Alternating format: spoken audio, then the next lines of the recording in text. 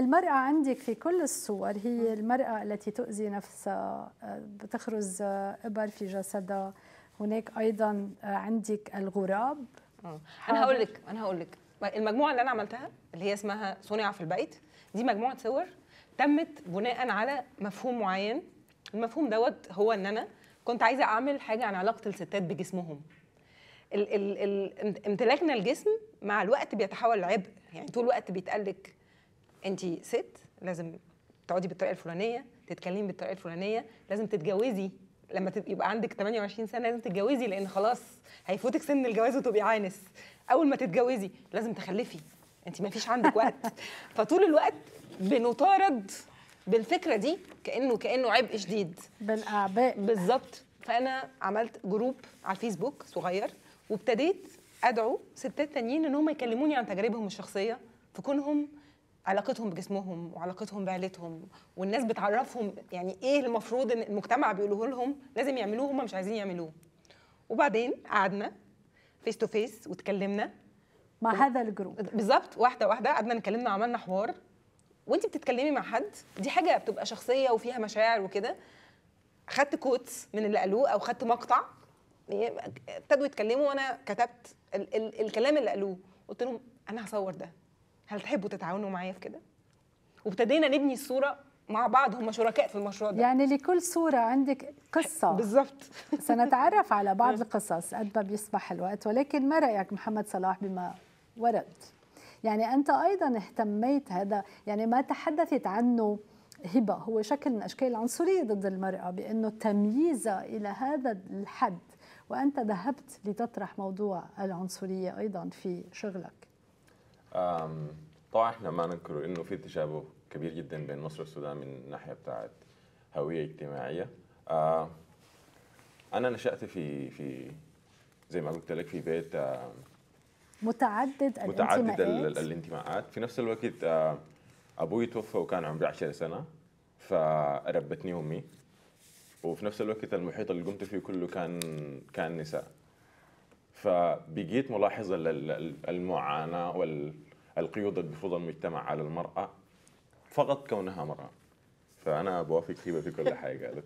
وأنت المرأة حاضرة في عملك أيضا لأنه هي محور هذا التمييز. المرأة في زينتها التي تحاول أن تفتح تعطي لون بشرتها لون أفتح من لونها الغامق. آه. لأنه هناك نظرة عنصرية ترتكز على لون البشرة.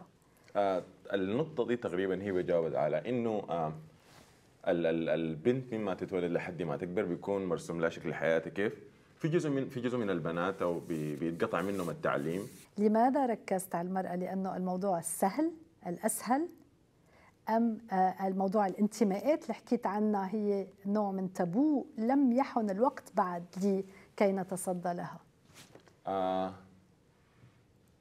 أنا ماخذ التصوير ك self realization إنه أنا أفهم نفسي أول بعد ذاك أقدر أتكلم عن الحياة الثانية فكون أنا قمت في في المحيط ده بديت أتساءل في محيطي الضيقه اللي هو البيت إنه ليه الحياة دي مفروضه عليهم يعني مثلا الأم بتفرض على بنتها إنها تفتح لهم بشرتها بغرض إنه عايزة عريس.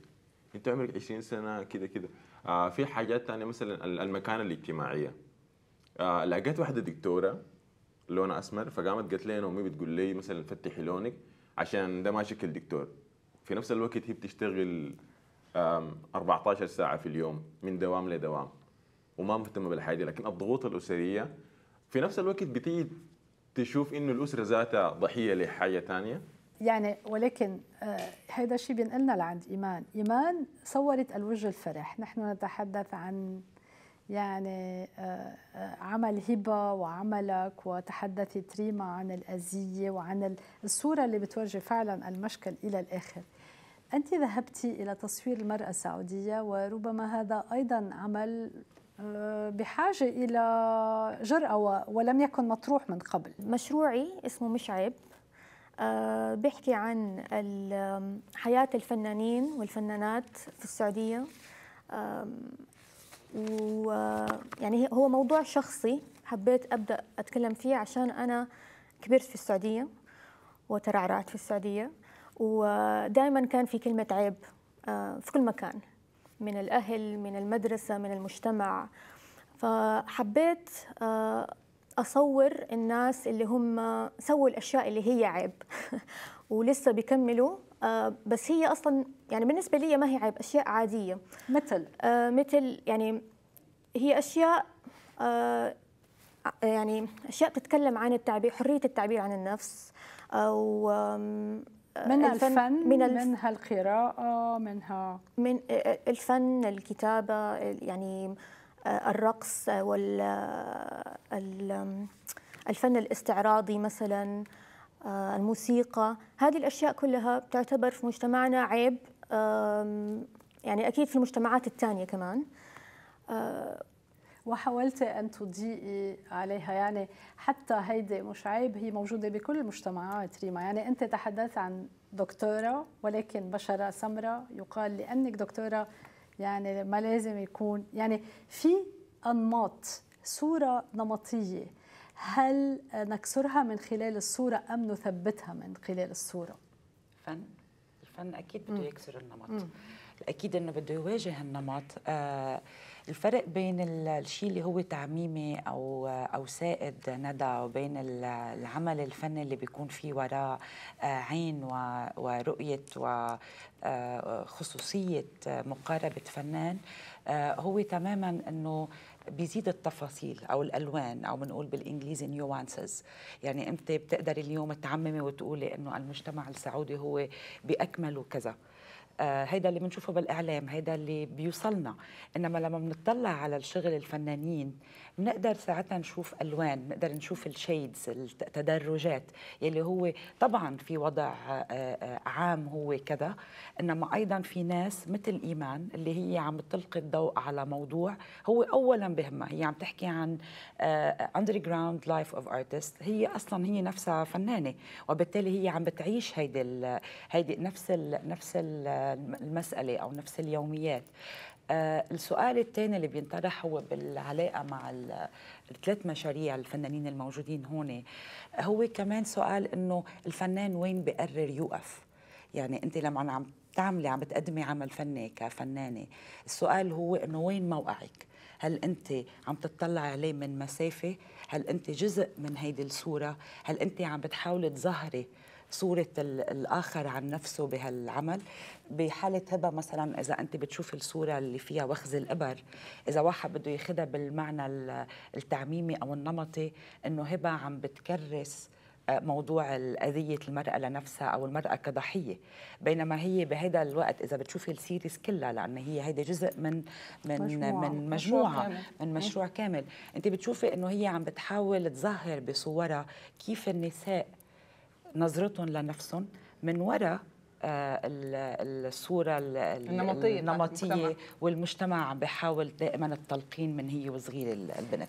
يمكن هيدا كمان آه، إيمان للي أنت حاولت تعمليه كسر الصورة النمطية إنه تصوير المرأة السعودية آه، بعدس بصورة مختلفة عن الصورة النمطية اللي اخذينا عنها. بالضبط. يعني إحنا دائما الناس من برا بيجوا بيصورونا أو بيتكلموا عن حياتنا وعننا بس إحنا يعني النساء السعوديات يعني هذا اللي أنا بحاول كنت أسويه إنه في ال portrait series تبع النساء في السعودية. طبعا في تنوع لأنه الصورة العامة اللي إحنا عندنا إياها عن السعوديات إيش؟ أو أنتم يعني صورة واحدة صح؟ صح. آه فأنا حبيت أقول لا إحنا مش شيء واحد يعني في اختلاف. زي ما انت شايفة. مظبوط كان عندكم صورة واحدة. قلتي صح؟ يعني طبعا دلوقتي بيبقى في صورة عامة عن أي مجتمع. يعني ما هي الصورة التي لديك في ذهنك عن المرأة السعودية؟ إنها بيتم السيطرة عليها بالكامل. إنها ما تقدرش تسافر من غير محرم ما تقدرش تتحرك من غير محرم وإنها بتنتقل من من تبعية الأب لتبعية الزوج بالضرورة. وإن هي أو عن المرأة أه؟ السودانية أو عن السودان؟ لا طبعا السودان السودان علاقة مصر بالسودان علاقة وثيقة جدا من زمان. نعم. يعني إحنا نعتبر امتداد لبعض يعني مجتمع واحد. ف... ولكن فعلا لأنك فتحت هالموضوع. أه. امتداد لمجتمع واحد هو يتحدث عن اختلاف لون البشرة. أنا عايزة بس أقول لك على حاجة كمان. الموضوع اللي هو تحدث عنه يجوز التحدث عنه في السودان لكن هو موضوع عالمي. وفي مصر أيضاً. طبعا عالمي في الدنيا كلها. فكرة إنه أنا إنه الستات نفسها تبقى أبيض درجة أو درجتين لأنه ده مرتبط بذهننا فكرة الموديل الحلاوة. يعني يعني في تعريف عام الست الجميلة شكلها إيه؟ مقاسات. مقاسات جسمها شكله إيه؟ درجة لون بشرتها شكله إيه؟ وإحنا نقعد طول عمرنا نجري ورا النموذج ده. ده نموذج محطوط. أقعد طول عمري أقف قدام المراية أقيس. لا لا عايزة أشيل حتة من هنا لا لا لا مش مع... مش معقول دي درجة لون دي انت يعني طول الوقت وأنت. وعلى فكرة ندى كمان إنه هيدي المرجعيات اللي, اللي بتصير مكرسة النمطية. النمطية اللي هي شو هو مقياس الجمال هيدي مش بس نابعة يعني هي تكرس أكثر من خلال الإعلام السائد اللي بيجينا من الغرب صحيح. كمان لأنه الإعلانات اللي بنشوفها اليوم طبعاً. ل products للبشرة أو ل آه، دي حاجة عالمية يعني. ال perfumes ال models اللي بياخدوهم هي دائما هو تكريس لهذا ال- هالمرجعية إنه الجمال عنده مقاييس محددة وهو صحيح. منه احتفاء بجسدك كمرأة مثل ما هو واعترافك فيه وحبك له إنما كل الوقت الطوق إنك تغيري وإنه على اللي عندك هو اللي مش في كل كامل حتة اللي هي دلوقتي اللي سائدة يعني